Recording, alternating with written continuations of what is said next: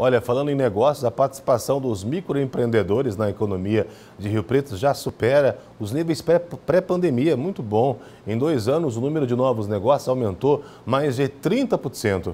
A Laura está super contente. Ela sempre gostou de fazer doces e costumava, na época, vender para amigos e familiares.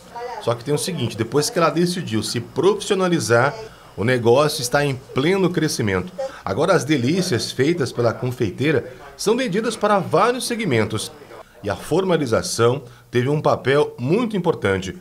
Depois que ela abriu um MEI, as portas do mercado também se abriram para ela. Me proporcionou a, a vender para empresas, né?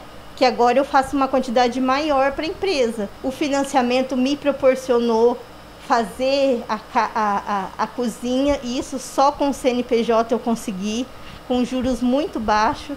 Então, a abertura da empresa fez só alavancar a minha empresa. E a Laura aqui é um bom exemplo do que acaba ocorrendo com milhares de brasileiros. Ela tinha emprego formal, carteira assinada, aparentemente uma situação estável. Acontece que a empresa dela fechou de um dia para o outro. Isso foi em 2019. Aí você teve que se virar sabia fazer doces, como é que foi? Sim, aí eu comecei a fazer doces para vender mais para os vizinhos aqui em casa.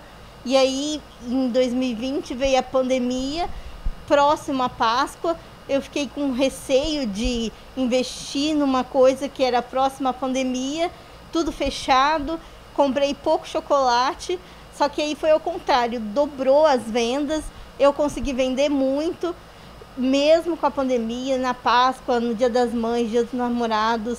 Chegou em 2020, eu tripliquei, vendi mais de 11 mil reais só com venda da Páscoa. E os microempreendedores vêm ganhando força em Rio Preto.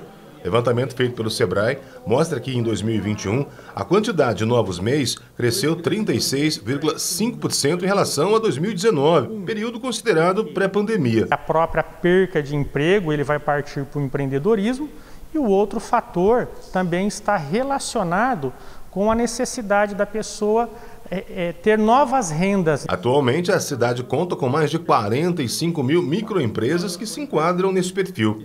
Segundo o consultor do Sebrae, só nos últimos 90 dias foram abertos 1.950 novos negócios em Rio Preto.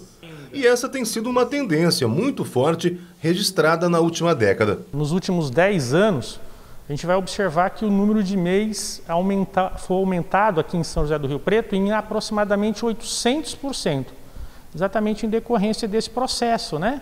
quer seja infracionário, quer seja por um momento de crise, ou até mesmo pela necessidade de alguém empreender. Mas mais do que a vontade de empreender, é preciso aprender a gerenciar.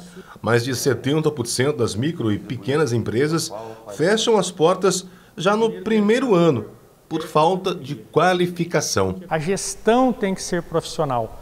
Para isso que o Sebrae está aqui, para oferecer capacitação, para oferecer treinamento, para oferecer orientação e principalmente ferramentas de planejamento, marketing, finanças, como vender o seu produto, como colocar preço no seu produto e principalmente como divulgar. E hoje está muito em moda né, a questão do marketing digital e o Sebrae está aqui para poder auxiliar todos esses empreendedores. É isso aí, capacitação sempre. Laura, estava uma delícia, viu aquele bolinho, tá? Obrigado pela, pela, pelo presentinho aí. E se você se interessou, quiser mais informações, participar de cursos junto ao Sebrae, tá aí o endereço da Rua Doutor Prisciliano Pinto, número 3184. É sempre bom participar de uma capacitação. Você tem o dom, mas aperfeiçoa, porque a chance de permanecer aberto, de crescer, é muito maior. Muito obrigado pela sua participação. A gente volta amanhã 10 para 7 com mais uma edição do SP Record. Grande abraço, tá bom? Você fica agora com o Jornal da Record. Se cuida, se protege e fica com Deus.